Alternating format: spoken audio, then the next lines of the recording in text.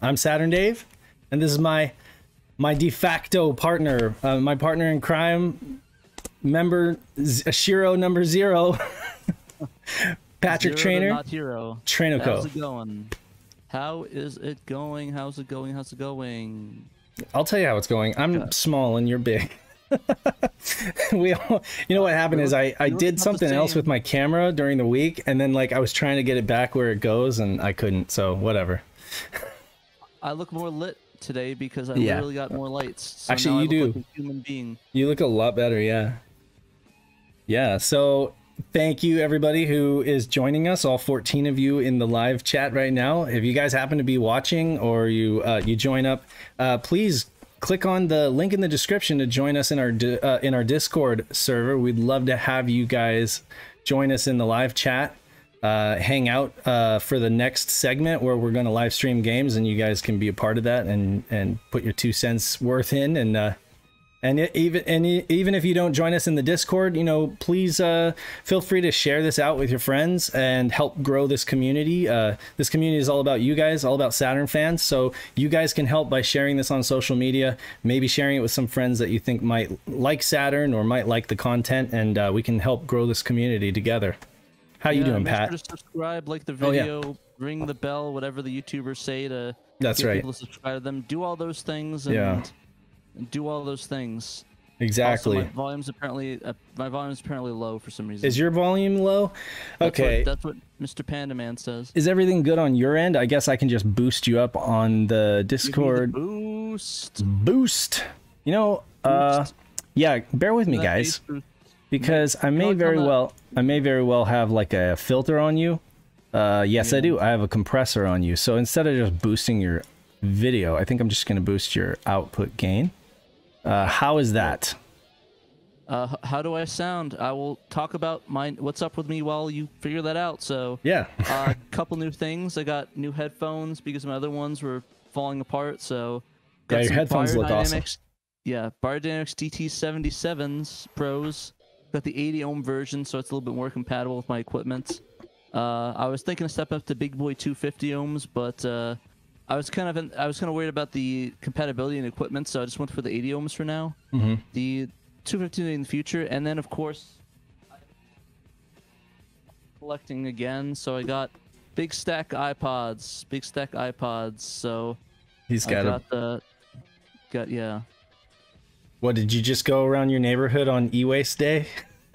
no, I'm just kidding. I literally just I literally just went on on OfferUp, and I think I got all these for about 150 or something for all these. nice, nice. So I got the got this iPod Nano. It's like fifth gen, but it's kind of kind of knackered and not working right now. So it's probably gonna go e-waste. I got a little iPod Touch. It's only eight gigs, so I'm gonna.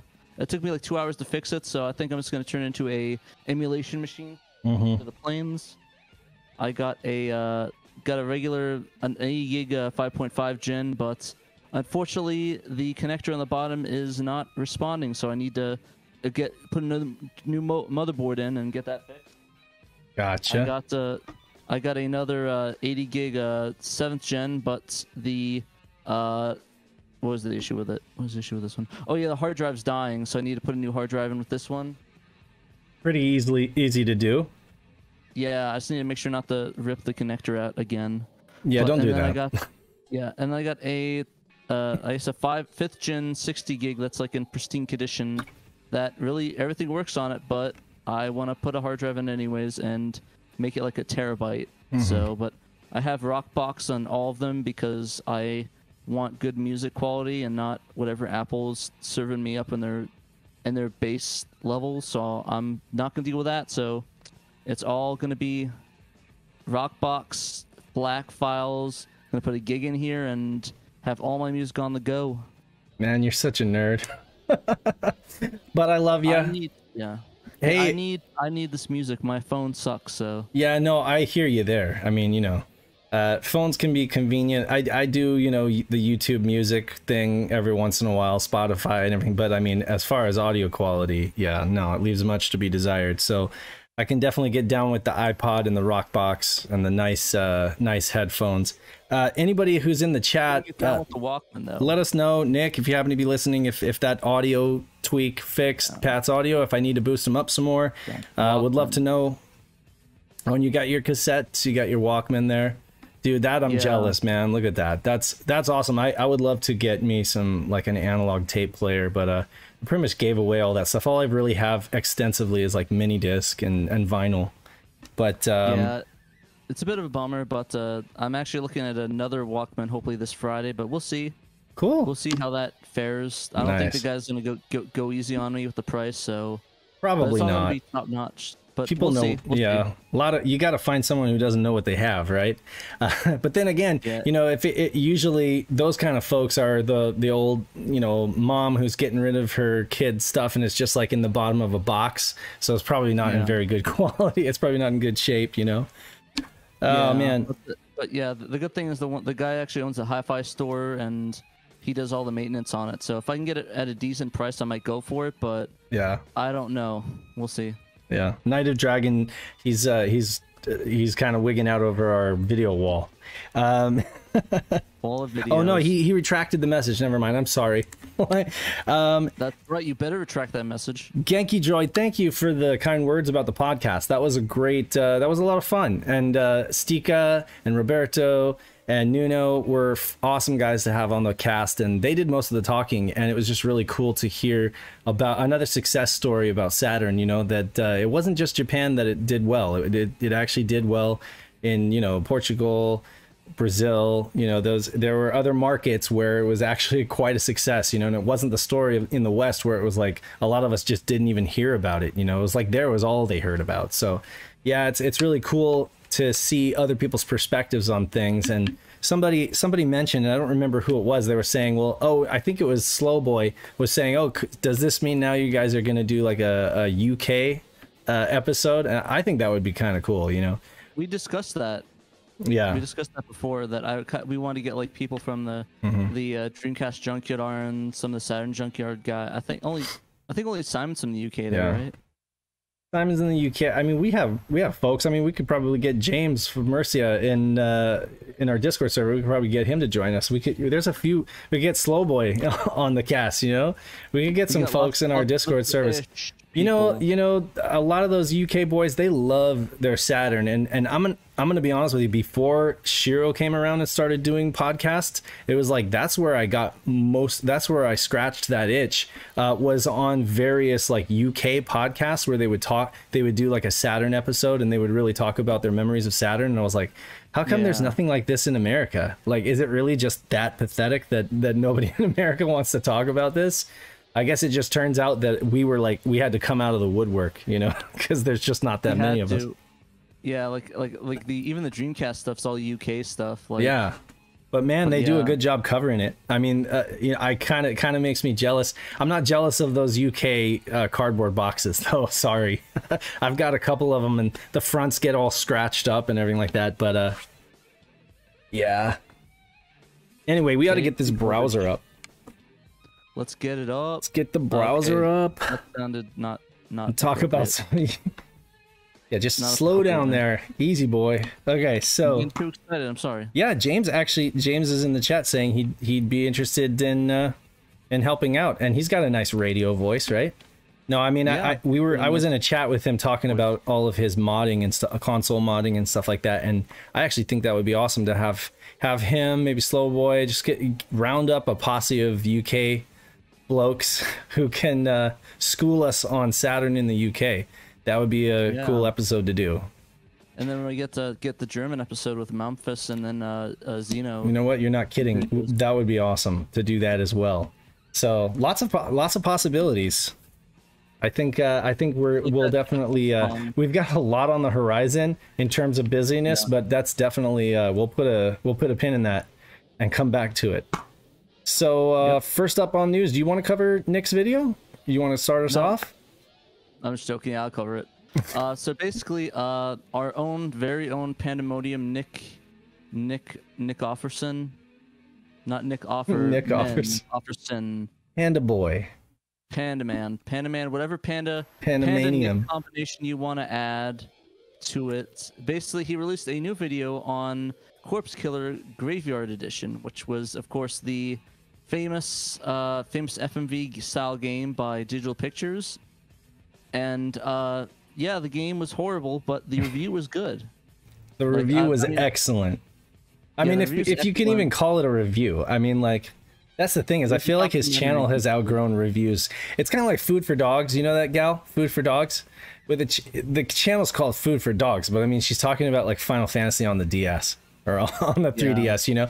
And I feel the same way with Nick's videos. It's just like his videos have just gone to another level, you know. And I mean, uh, and yeah, you know, there's still there's still a review kind of, you know, thing to it, but I mean, it's just so much more than that.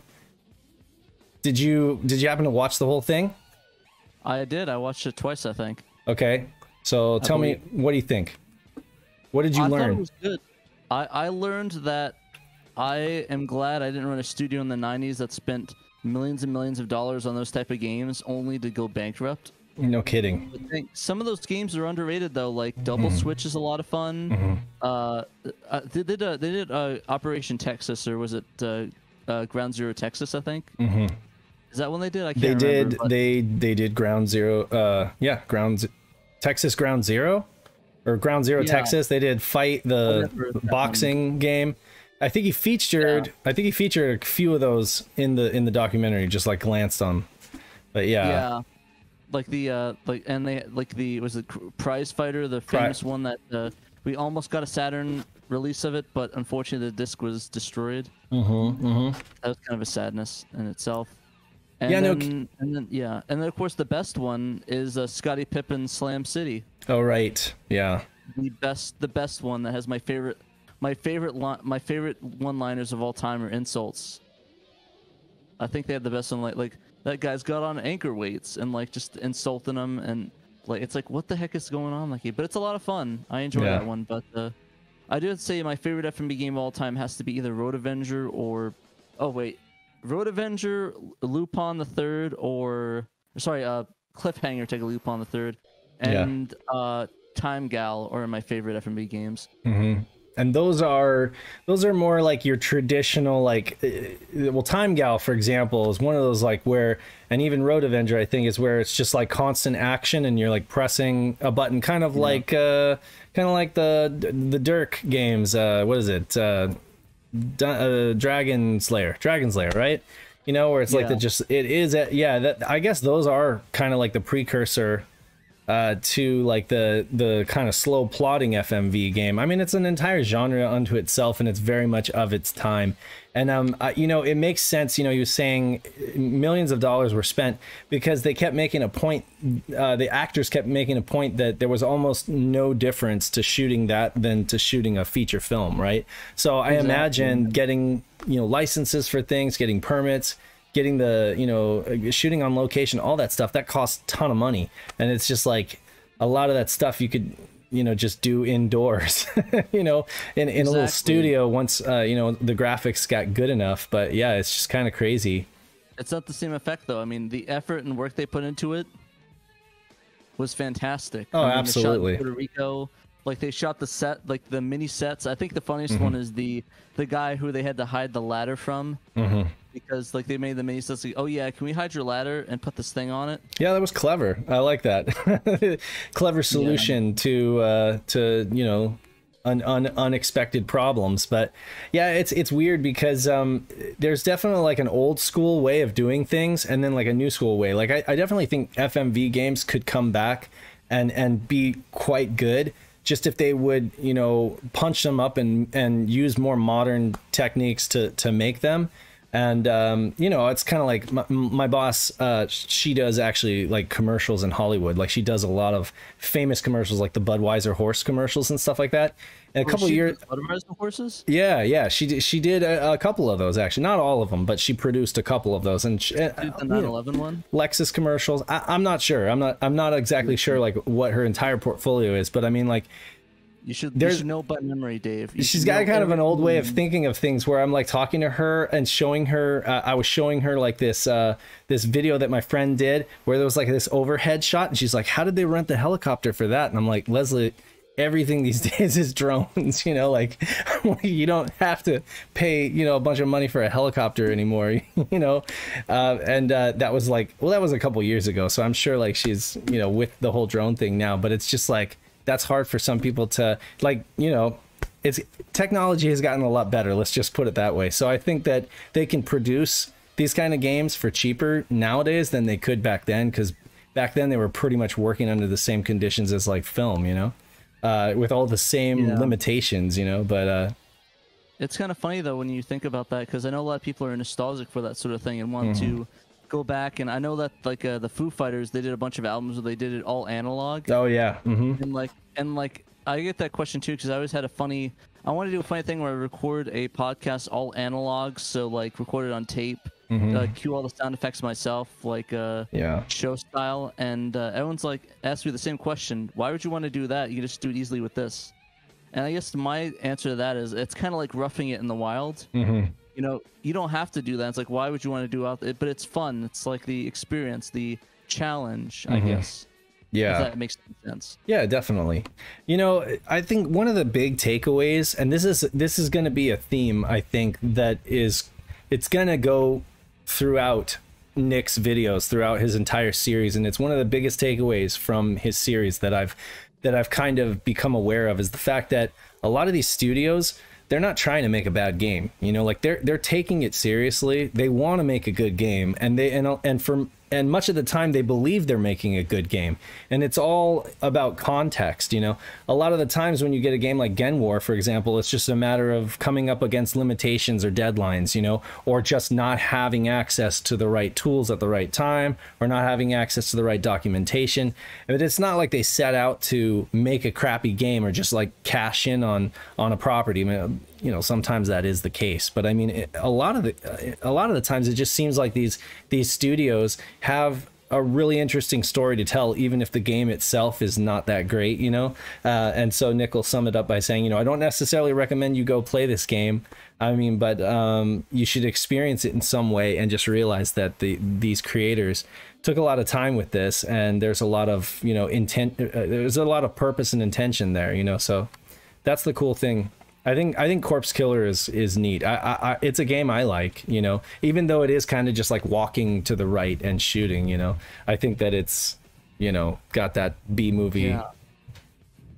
And and if you think about it, I mean, there wasn't really anything to base it off of. They're only doing the best they can with the knowledge they had. Exactly. I know was any knowledge like, oh yeah, by the way, there's gonna be a future invention where y- you can like do these 3D models, or you can Yeah. you can do pre pre pre-rendered like Donkey Kong Country and stuff like that. A lot of that didn't exist at the time yeah. when they were filming that. I mean, Donkey Kong Country was at '94, right? It what? Uh, Donkey Kong Country 94. Yeah. Or 95. Yeah, Uh, 94, right 95. right around that right holiday probably time.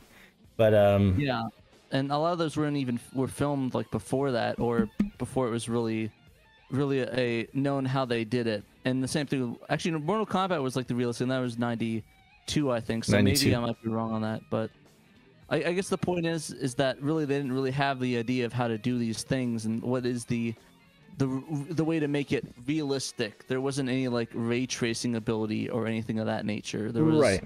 The was like- unforgivable. so the unforgivable things are like not putting in mouse support or gun support, right? That's Yeah. now that's that's where you really can ding them and you can say, okay, the self awareness that whether or not the game is good, object you know subjectively based on whether you like cheesy ga- FMV games or not doesn't matter. But but like you know bottom line creature comfort things that existed in previous games ought to exist in in like an enhanced edition right? So you know it ought to it should have had gun support. And i mean there's no amount of excuses. I mean i get like they could they could make excuses and say okay well we just didn't have the time or we you know they should have. If they spent eight million dollars shooting the darn thing they could have coded in support somehow you know they could have made it work and i think it would have been worth their while because it, it probably would have aged better, you know, overall, and might have even sold better. Um, and the same thing goes for racing games that are like 20 frames per second. I think we can all agree like racing games need to be at least 30 frames per second for you to be able to see where you know see corners as they're coming up on you. Which is why as much as I love I love uh, you know the um the black sheep, you know, uh, Sega touring car, I often admit that it's just like okay, it has an unforgivable frame rate for a racing game. So I don't uh I don't hold it against people to hate it, you know. Yeah, no, for real. And I, and I think the hardest thing with some of the games, like you mentioned with the mouse support and the and the gun support, is a lot of that maybe had to do with the fact that I mean we talked about it before, both on the pen and PandaMonium and on our podcast, that a lot of developers didn't have these technologies to work with at the time. They're just giving it. Like they were just like, oh hey, here's here's this. We can't give you s- samples or anything, and then it's like last second they give it to him is like, well we and like uh, Nick mentioned that it, it might have been pushed out for a holiday release as well. So I mean, Well, that's the thing too. yeah. So so so that's the thing is if their little sin I guess is insisting on it on releasing it in November. So if if their hands were tied with the mouse support thing, you know, I think that they should have held out, released it later and had it be a better game. But no, they decided, you know, we're just the money, you know, is important and we're going to try to sell it in November for the holidays. I mean, but you always have to ask, like, was it worth it? You know, did it did it pan out the way that you that you wanted it to? You know, I mean, if it had gun, if it, studios don't have options for that, you know. yeah, yeah. I mean, uh, Sometimes so the developer, the producers like looking down the neck. It's like, game's got to go out, guys. That's twenty two. Yeah, game's got to go out. Is it ready? No. Okay, well, let's just put it out. You know, and it's funny that, that there are much lesser games. There are like there are games that are much worse than this that do have that either do have mouse support or gun support. So it's just you know. Uh, anyway, it was an excellent video. Yeah, I've watched it twice. Doesn't Crypt Killer have gun support? Crypt Killer, I think does. Yeah, yeah, yeah. The Henry Yeah, Explorers doesn't game. Make that game any better? Yeah, I know, right? sucked. So- the game sucked. My bad. I'm dropping f bombs on here. My bad, guys. But uh, but yeah, so go check out if you guys haven't subscribed to. Uh, I can't imagine you haven't, but if you haven't subscribed to Nick's channel yet, uh, PandaMonium reviews every Saturn game. Go go subscribe now. Give him a like and subscribe to his videos. Uh, awesome content, and he puts so much time and effort into it. Uh, you guys gotta go check it out. Um, I cannot wait for. There are a few games that I just cannot wait to see what he does. So um, and Nick has not subscribed to his own channel. And personally, I think that's like a president not voting for himself. So It's an honor. You're not supposed to do that, even though I did that for my own channel with Shiro. Yeah. I totally did not booster up my own personal channel with all my other accounts.